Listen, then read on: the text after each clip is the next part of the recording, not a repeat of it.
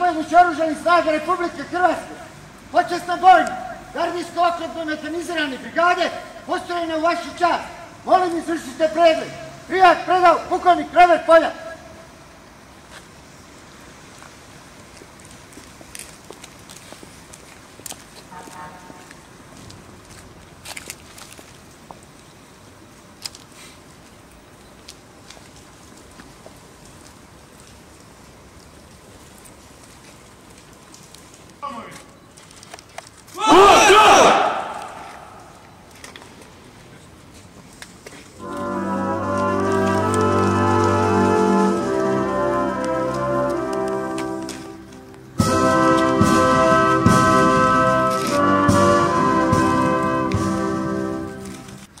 Prisežem da ću se u obnašanju svoje dužnosti pridržavati Ustava i zakona, da ću savjesno i odgovorno izvršavati službene zapovjedi, braniti suverenitet i teritorijalnu cjelovitost Republike Hrvatske, te poštivati i štititi temeljna načela slobode i jednakosti.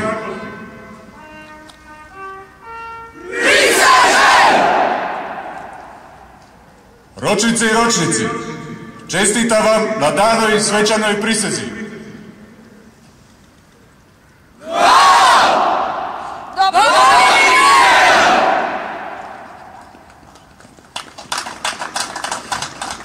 Ovo nije malo. Biti vojnik, to je poziv, to je način života. To je na neki način i spremnost da se za neke više vrijednosti kojima ste ovdje prisegnuli danas, sutra, ako to bude potrebno, riskira i vlastiti život. Mi ćemo, ja ću, činiti sve da do toga ne dođe. Do toga da morate bez razloga, bez prijeke potrebe, bez krajnje nužde, u teško zamislivoj situaciji riskirati ono što je vama i vašim obiteljima najdraže, a to je vaš život i zdravlje, ako za time ne bude najpreća potreba. Šta i na što mislim kad o tome govorim? Rat je iza nas i ljudima koji su se u ratu žrtvovali, izložili i dali za Hrvatsku dugujemo jako puno, najmanje rečeno. Jako, jako puno.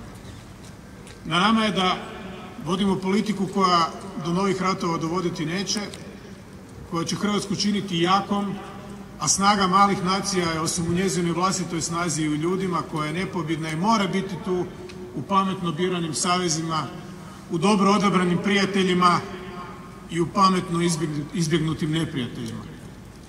Prijatelje imamo, saveznike imamo, neprijatelje baš i ne i nema razloga da ih stvaramo. I zato će Hrvatska vojska kada god bude djelovala, a djeluje u pravilu izvan naših granica i tamo se najveći broj aktivnosti događa, voditi računa i vodići računa da njezinim prisustvom ne stvaramo nove neprijatelje, da gradimo nove saveze i da ne napuštamo prijatelje, a sve je to jedna vrsta ravnoteže i balansa upravo onako kakav treba svakom tijelu i svakom čovjeku.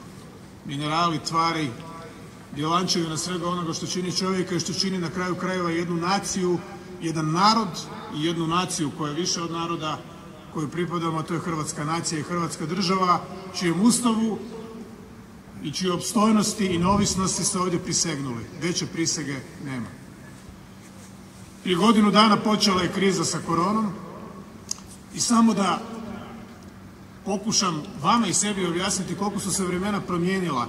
Nekada je država imala pravo, ima ga i danas u stvari po Ustavu, regrutirati, odnosno unovačiti čitavu generaciju mladih muškaraca. I niko nije pitao, nitko nije postavljao pitanja. Na godinu dana bio si lišen praktički cijele svoje privatne slobode i morao se služiti vojsku, kao što se to govorilo.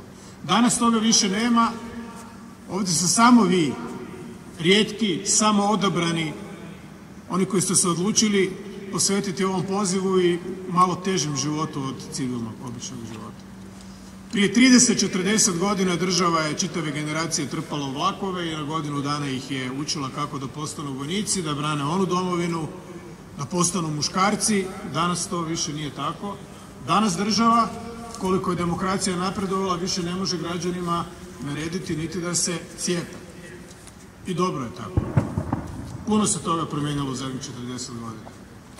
I u takvom jednom svijetu koji je i kompliciraniji i prije svega razmaženiji nego što je nekada bio, vaš doprinos, vaše opredjeljenje, vaša odluka da budete vojnici ima posebnu dodatnu težinu, barem za mene, koji vojnik nisam bio.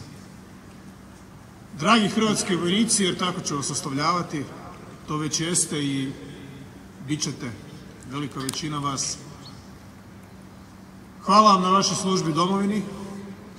Uvjeren sam da će vam država dati sve ono najviše od sebe što može dati i da nikada neće biti u situaciji i da će izbiti situaciju da traži od vas ono najviše. Bili živi, zdravi, vi i vaše obitelji, želim vam sreću još jednom čestitam na ovoj velikoj prisegi i na ovom velikom danu, jer u tih nekoliko rečenica u stvari stoji sve. Živjeli.